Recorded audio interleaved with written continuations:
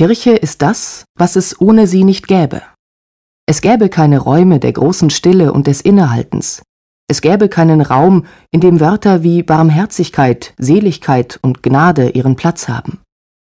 Kirche ist für wahr nicht der Himmel, und die wenigsten ihrer Funktionäre sind Heilige.